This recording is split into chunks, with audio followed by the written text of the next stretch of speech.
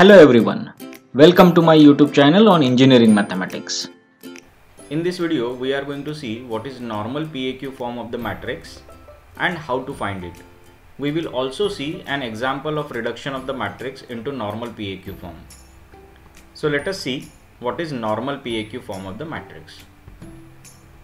For every matrix A, if there exists a non-singular matrices P and Q such that normal form of the matrix A can be written as P into A into Q, then we say that PAQ is in normal form or this is also called as normal PAQ form of the matrix.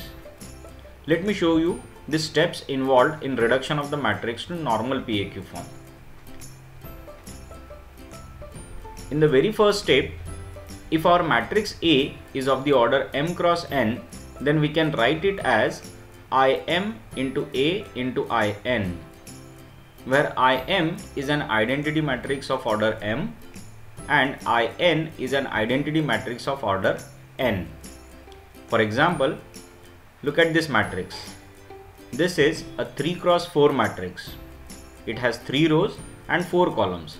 So we can write this matrix as product of I3 into A into I4.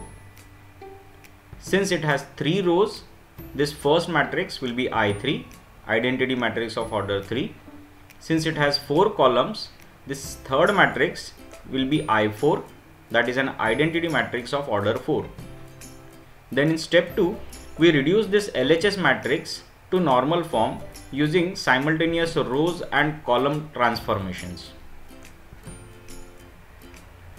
In step 3, on IM, we will perform the similar row transformation applied on LHS matrix A as well as on IN, we will perform the similar column transformations that we applied on LHS matrix A to reduce it to normal form.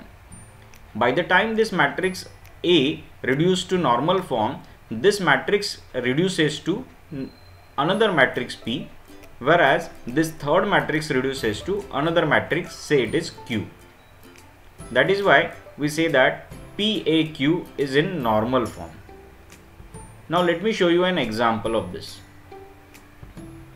Here we are given a matrix A, it is of order 3.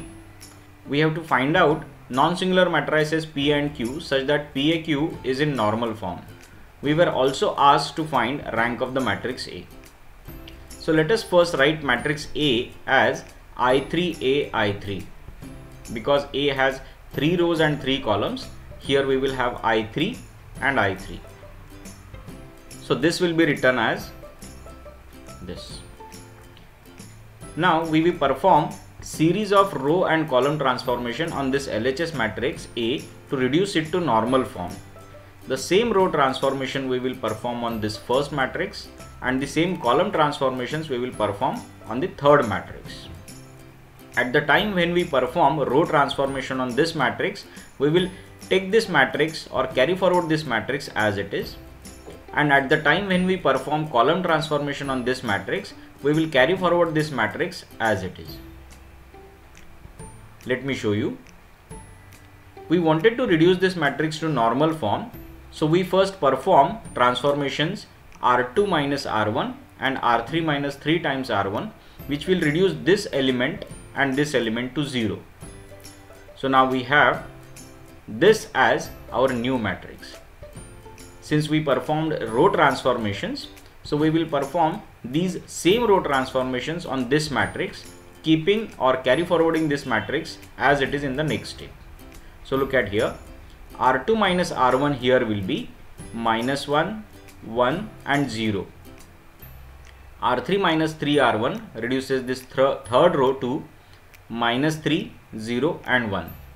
You can see that this matrix A and this third matrix are carry forwarded as it is in the next step. Now we will perform transformation C2 minus C1 and C3 minus C1 to reduce A1 comma 2 and A1 comma 3 element to 0. So now we have this is our new matrix. Since these are column transformations, we will perform these transformations on this third matrix keeping this first and second matrix as it is in the next step. So look at here the changes are as follows. This matrix is carry forwarded as it is same as A. Now C2 minus C1 will give us minus 1 here, 1 here and 0. C3 minus C1 will give us in third column minus 1, 0 and 1.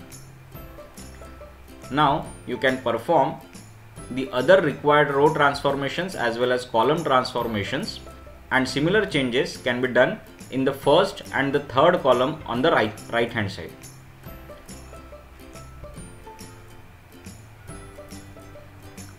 So finally we ended up with this type of equation where in LHS this matrix A is now completely gets reduced to normal form. Instead of I3 we have now new matrix. We call it as P.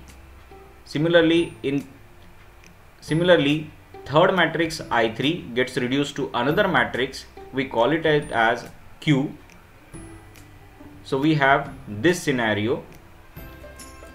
So right hand side becomes PAQ and left hand side is in normal form that is why we call it as PAQ is in normal form or this is normal PAQ form. From this left hand side matrix we can say what is rank of the matrix. Since in this normal form identity matrix of order 2 appears we say that rank of the matrix is 2.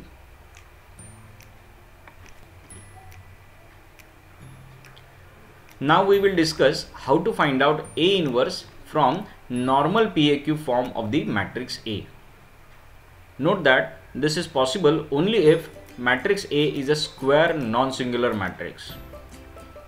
So let us consider normal PAQ form of the matrix A is as follows.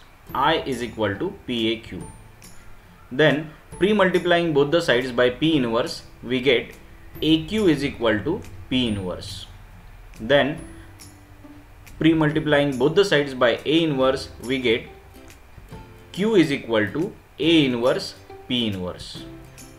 Finally, we post multiply both the sides by matrix P to get QP is equal to A inverse.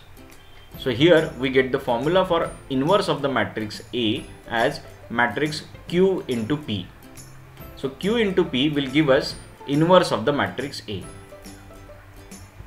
Let us see an example on this we are given matrix A of order 3 cross 3.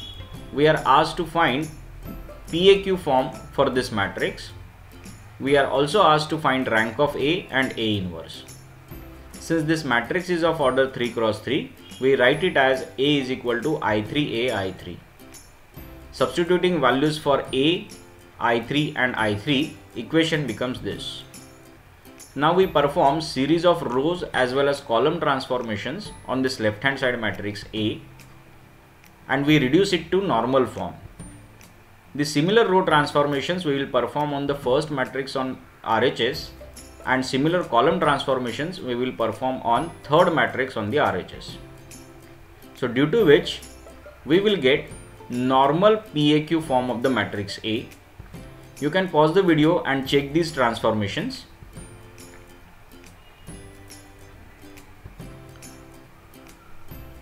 So finally we ended up with the equation I is equal to PAQ. This is matrix I, this is matrix P and this is matrix Q. From this left hand side matrix we can say that rank of the matrix A is 3. Now coming on to A inverse. From this equation we noted what is P and what is Q. To find out A inverse all that we have to do is find product of Q and P. So Q into P over here is this matrix. This is inverse of matrix A or A inverse. I hope you understood the concept of normal PAQ form and how to find it. As well as we also saw how to find out A inverse from the normal PAQ form. Thank you all of you. Thank you guys for watching this video. Please subscribe my YouTube channel for more such engineering mathematics videos. Please press the bell icon to have updated information about my videos.